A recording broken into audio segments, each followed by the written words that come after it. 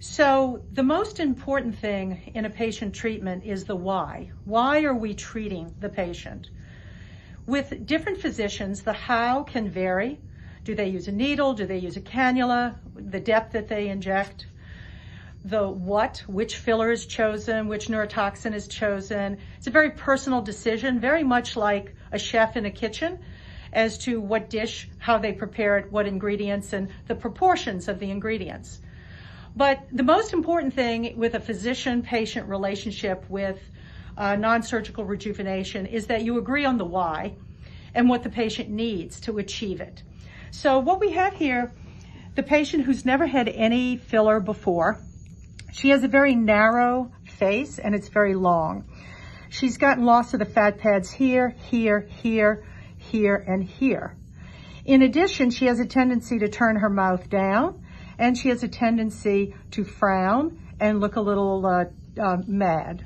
So what we want to do is we want to expand the lateral face on her, do minimal work on the central face, and to give her a smoother, more uh, relaxed and uh, refined and somewhat of a serene look to the face. So we're going to start superior, and I'm going to start with using uh, Sculptra in the temple. The use of Sculptra is important to understand with the patient that this is not going to give as immediate effect as the gel fillers, but I like Sculptra in this area because of its safety. We have the assistant immediately hold pressure to each area. Now the next thing we're going to use is we're going to use uh, RHA4 in the cheek. Chin up for me. Now, the way I decide where you need it in the cheek is several ways. If you notice when I do this, there's a depression here. See, it comes up here, but it's depressed here. So that tells me that there's volume loss in this area here. In addition, smile.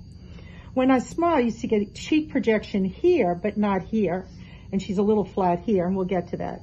So what I like to do with the RHA4 is to stay in the sub-Q this is a product that is very soft and natural.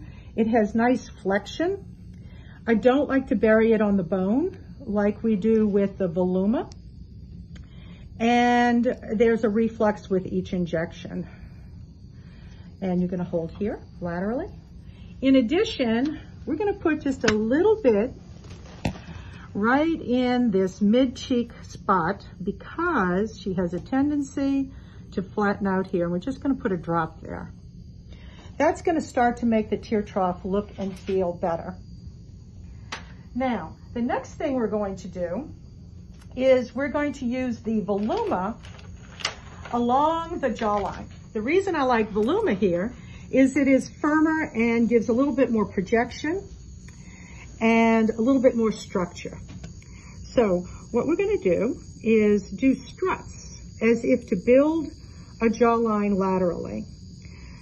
And um, Voluma is great in that you get a very nice result immediately and it seems to look even better about six hours later.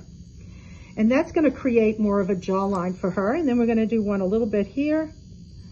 And the purpose of this is to give her a little bit more angularity to the jaw and a little bit more lateral projection.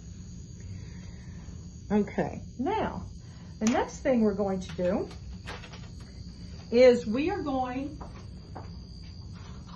to use a cannula to use the Juvederm uh, Ultra Plus in the peak of the nasolabial fold. And the reason I'm doing a cannula is for safety purposes um, in this area. I also like that I can go, just hold laterally for me that I can go at different depths without changing the needle position. So we're gonna go a little bit more superficially. Now the nice thing about doing this first is it's gonna give her some anesthesia for uh, when we do her lips.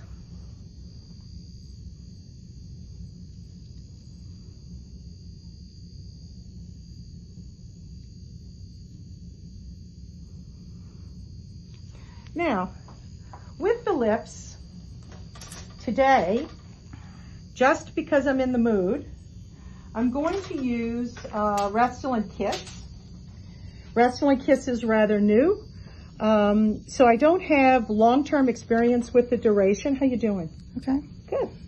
Okay, so we're going to put a little, we don't want to give her a lot of lip because again, we don't want to emphasize her central face. We want to emph emphasize her lateral face, but we want to soften everything and you look softer when you have a little bit more lip as you age.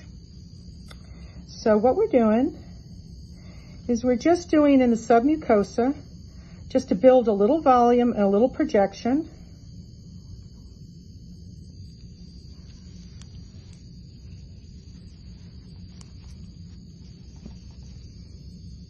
This way, because it helps lift.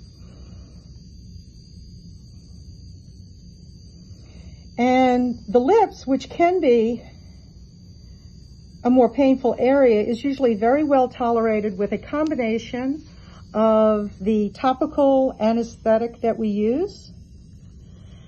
We also have the patient using a, a vibration device. It's called distraction therapy.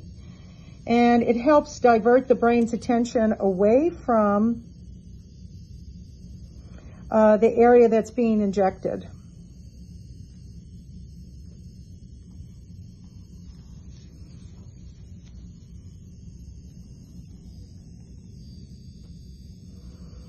Okay, now hold there. Now we're going to put a little bit of the Voluma now.